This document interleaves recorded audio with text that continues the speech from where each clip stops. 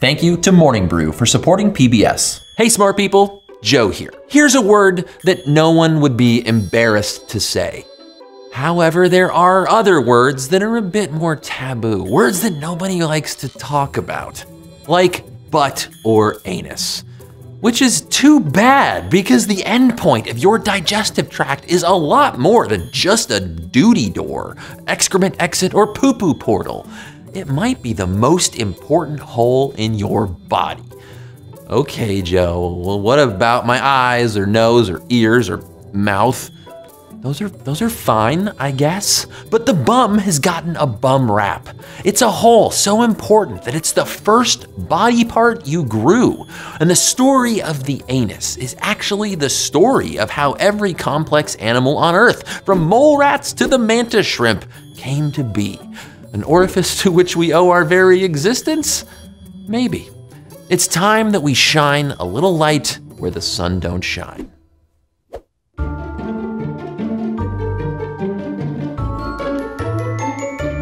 This video contains language such as butt, poop, and anus, used in a mostly scientific context. For our younger viewers and other viewers who still live with their parents' discretion may be advised, even though literally everyone poops, so it shouldn't be that big of a deal. I'm just not trying to get you grounded or anything, so don't say I didn't warn you. Inside, you are enormous.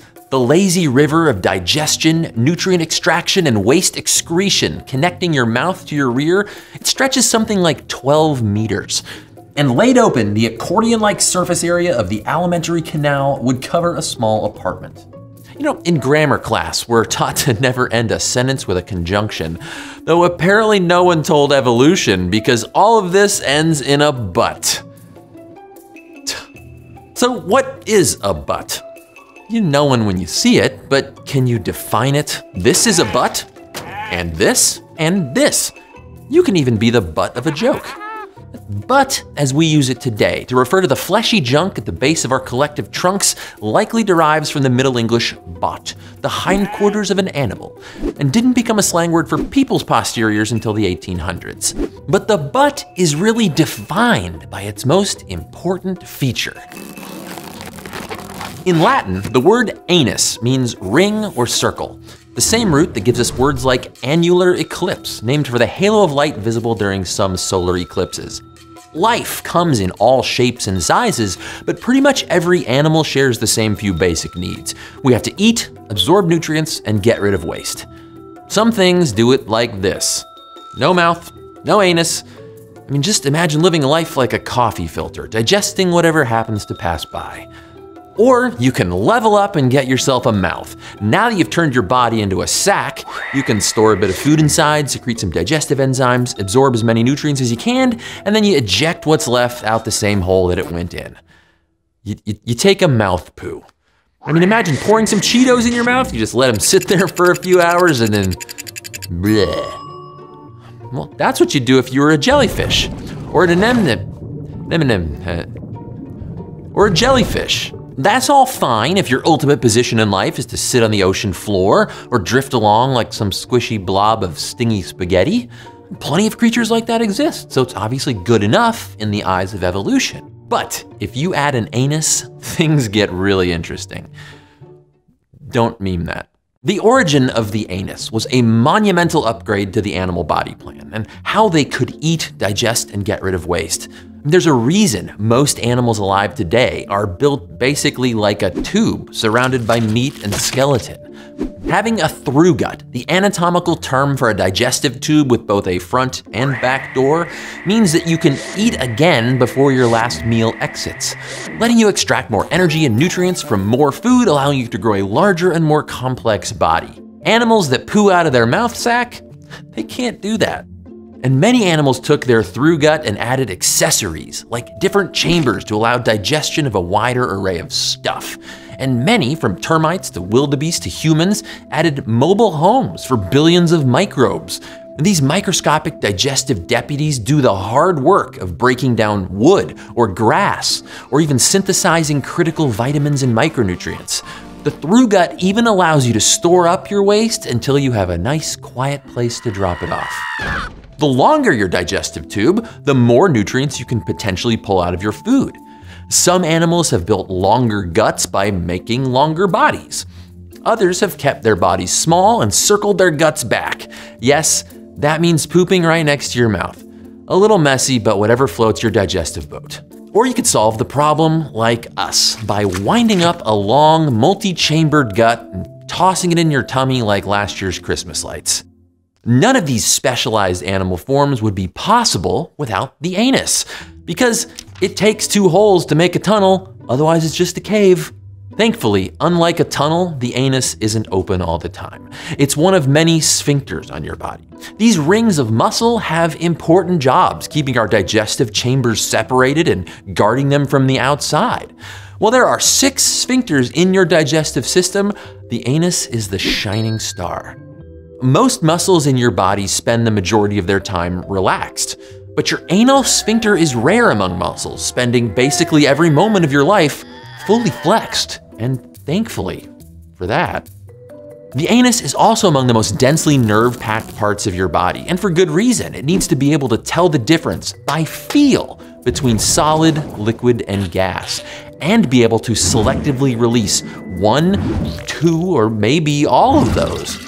That is not a decision you want to mess up. You're totally unaware of this, but six to eight times every day, a muscle contraction occurs in your body called a mass movement, squeezing the contents of the colon along, just like a half-used tube of toothpaste. Now this contraction can be triggered by eating, and the more you eat, the bigger the squeeze. Eventually, some of that stuff gets pushed into the rectum, your body's exit hatch. And here, these special nerve receptors measure pressure. When enough waste pushes against the rectum walls, it triggers the defecation reflex. When you poop, you technically don't push it out. You increase the pressure in your rectum, the walls squeeze in, the sphincter muscles relax, and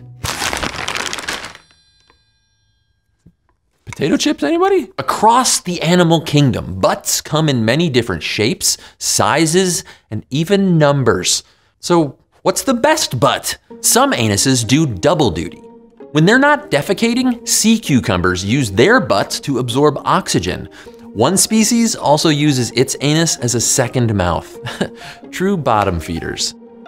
Reptiles, amphibians, most birds, and monotremes like the platypus have a cloaca, a multi-purpose Swiss Army knife of holes linking urinary waste and reproductive systems. I guess you could say one ring to rule them all.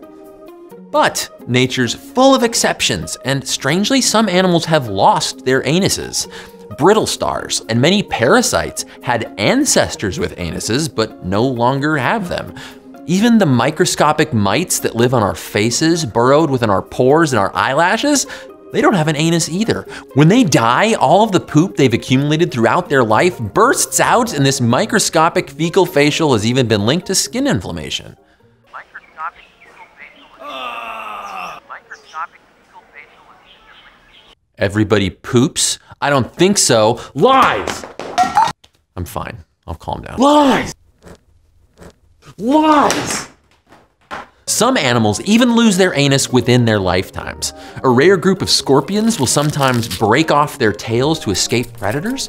They make a quick getaway, but they say adios to their anus in the process and never poop again. There are even anuses that come and go. The warty comb jelly looks like a jellyfish but isn't a jellyfish, and has an anus that only shows up when it's time to poop, only to disappear like some ghost butt. This ocean-dwelling flatworm went anus crazy, sprouting multiple anuses across its entire back. And although they don't use toilets, I cannot help but wonder what theirs would look like. As varied as the animal kingdom's anuses are, none of them have bones, so they don't fossilize well. That makes it hard to trace the beginning of the end. And scientists still aren't sure when and how the anus originated.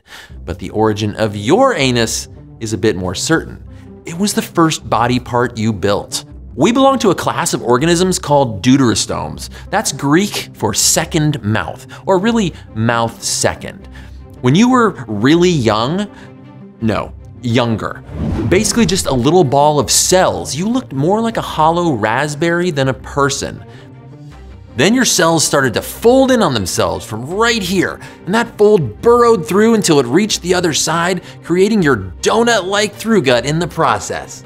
I can see you. And the end of the tunnel that formed first, that became Uranus, anus, while the second opening became your mouth.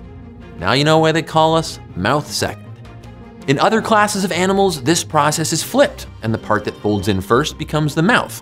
They're called protostomes, Greek for first mouth. But you and me, we came in the world rear end first, baby. During life's 3 billion plus year journey on Earth, anal evolution happened independently many times on many different branches of life. And they're so old that butts are more than the holes they hold. And they do a lot more than just get rid of waste these days. Wombats have buns of steel that they use for defense, capable of crushing the skulls of their attackers. And manatees, they fart to maintain the right buoyancy in water. And dragonfly larvae, they use their butts like aquatic jetpacks. But our butts, they're pretty special too. The human buttock is the most voluminous in the animal kingdom. Your built-in tush cushion, it's made of fat on top of some pretty hefty gluteal muscles. And that's all thanks to our unique and very useful habit of walking on two legs. I mean, compared to our chimp cousins and prehistoric human relatives, we have a shorter, wider pelvis with muscles that are oriented and enlarged to handle the weight of our entire upper body when we're walking and running. Your supersized glutes are the reason that you can get up from a chair or stand on one leg. I mean, seriously, ask a chimp to do that sometimes, but they don't even listen to you. The fat stores that bulk up our booties are a little more mysterious. They may have helped our ancestors store energy when food was scarce, but many researchers think it's pretty obvious that they serve as a sexual signal too, with larger, fuller buns unconsciously indicating to potential mates that you're healthy and have plenty of assets. And one look at our culture's musical, artistic, and fashion tastes makes it clear that bottoms are something everyone thinks about. But considering how many euphemisms we've invented to avoid actually talking about butts and anuses, well, we're pretty uncomfortable discussing them, which is too bad. Because now I hope that you realize from black holes to back holes, the universe is full of wonder. And finally, remember to subscribe and don't forget to click the butt for. What's a butt for, you ask? For pooping, silly. Stay curious. Hey guys, I want to say a quick thank you to Morning Brew for supporting PBS. From Wall Street to Silicon Valley and everywhere in between, Morning Brew is a news source aggregated and curated from major news outlets so that you can get up to speed in just a few minutes. Morning Brew News covers topics like the environment, public health, and tech. Like just this morning, I was reading a story about how China is cracking down on Bitcoin mining operations because of all the environmental and energy implications. I learned a ton, and it didn't take me very long. Morning Brew only takes five minutes to read and less than 15 seconds to sign up. So click the link down in the description to sign up and start your mornings with Morning Brew.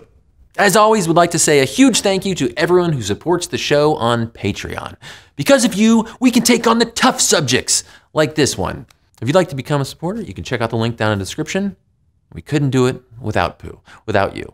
Okay, real quick, I'm gonna try to put a rest to something once and for all, okay? Butts evolved hundreds of millions of years before legs. So if legs came after butts, butt cannot be legs.